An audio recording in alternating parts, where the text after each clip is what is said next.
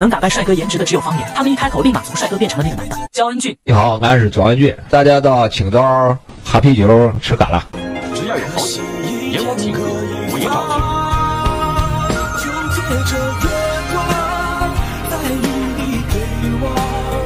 罗云熙，老子明天不上班，爽翻，打四百板。老子明天就不上班。